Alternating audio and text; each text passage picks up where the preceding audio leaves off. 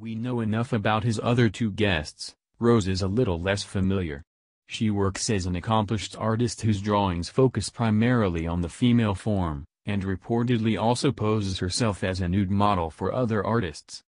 But her talent doesn't only lie there, she's also signed to the same modeling agency as Jasmine, and according to the Daily Mail, has dabbled in acting as well, starring in a rather explicit sex scene in Underground 2005 movie, Feed.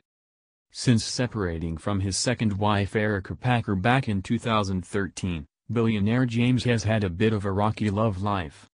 He was rumored to have been dating model Miranda Kerr after she split from ex-hubby Orlando Bloom, but in early 2016 he announced his shocking engagement to Mariah Carey.